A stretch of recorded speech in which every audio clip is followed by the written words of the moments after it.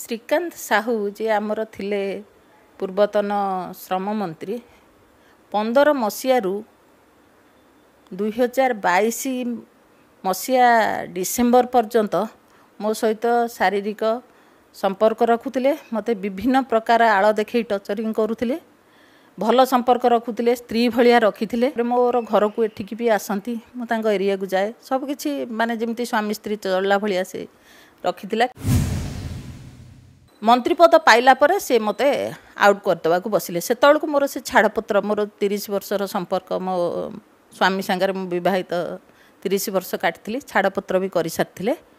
କରିଦେଲା ପରେ ମୁଁ ଯେତେବେଳେ ତାଙ୍କୁ ଏଫଆଇଆର୍ ଦେଲି ସେତେବେଳେ ସେ ଏଫଆଇଆର୍ ଉପରେ ଏମିତି କେସ୍ ହେଲାନି। ଦଳୀୟ ଚାପ ପଡ଼ିଲା କି ନ ପଡ଼ିଲା ସେଇଟା ଯେତିକି ନୁହଁ ମୋର ପୁରା ଭରସା ଥିଲା ମାନ୍ୟବର ମୁଖ୍ୟମନ୍ତ୍ରୀ ମୋତେ ନ୍ୟାୟ ଦେବେ। ନ୍ୟାୟ ଦେବେ ବୋଲିକି ତାକୁ ମନ୍ତ୍ରୀ ପଦ ଗଲା। ମନ୍ତ୍ରୀ ପଦ ଗଲେ କ'ଣ ନ୍ୟାୟ ମିଳିବ? ସବୁଆଡ଼େ ମୁଁ ଶୁଣିବାକୁ ପାଇଲି ଯେ ମୋତେ କୁଆଡ଼େ ପଇସା ଦିଆହେଇଛି ଗୋଟିଏ ଟଙ୍କା ଦିଆହେଇଛି ଗୋଟେ ଆପାର୍ଟମେଣ୍ଟ ଦିଆହେଇଛି ତା ଛଡ଼ା ଦଳରେ ଗୋଟେ ପଦବୀ ଦିଆହେଇଛି କିନ୍ତୁ ଆପଣମାନେ ଜାଣି ରଖନ୍ତୁ ମୋତେ କୌଣସି ଜିନିଷ ଦିଆହେଇନି